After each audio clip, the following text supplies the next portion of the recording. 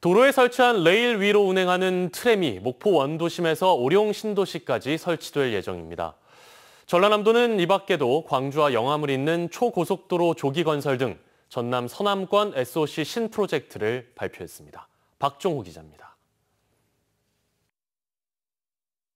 해외에서 도심 이동 수단으로 이용되고 있는 트램. 도로 위에 선로를 깔아 전차를 운영하는 방식입니다. 이 같은 트램이 전남에 도입될 예정입니다. 구간은 목포 원도심부터 하당과 남학을 지나 오룡 신도시까지 총 연장 15.7km로 국비와 지방비 등 4천억 원이 투입됩니다. 35m 길이의 트램 한 대는 버스 세대와 승용차 174대를 대체 가능한 것으로 분석되고 있습니다. 설계, 용역 과정에서 최대한으로 어, 우리 대중교통 시스템에 발빠르게 도입할 수 있도록 최선을 다해서 어, 별도로 어, 적극 추진하겠습니다. 광주와 영암을 잇는 47km 구간은 2035년까지 초고속도로로 건설됩니다.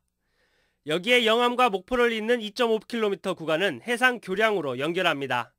이 사업은 20대 대선 지역 공약에 반영되기도 했었습니다. 어, 서남권의 경제 관광의 심장부로 되기 위해서 이번 초고속도로가 어떻게 보면 핏줄을 연결하는 이런 어, 일이 아닌가라고 생각을 합니다. 이 같은 대규모 사업들은 전남 서남권 SOC 신 프로젝트 일환으로 추진됩니다. 전라남도는 서남권의 새로운 발전 전기를 만들어가겠다고 밝혔습니다. 전국 어디에도 없는 신개념 아우토방 고속도로망을 구축하고 버스를 대체할 새로운 형태의 대중교통수단인 트램 도입을 추진해 나가겠습니다. 분명 지역 발전을 위한 장밋빛 청사진이기는 하지만 막대한 사업비 확보 부담과 10년에 가까운 사업 기간 단축은 여전히 풀어야 할 과제입니다. MBC 뉴스 박종호입니다.